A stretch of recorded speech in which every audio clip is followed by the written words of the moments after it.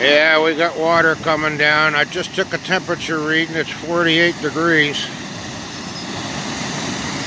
Fish will be moving up down in the lower part of the river pretty soon. And I'm going to go get them. Ha ha!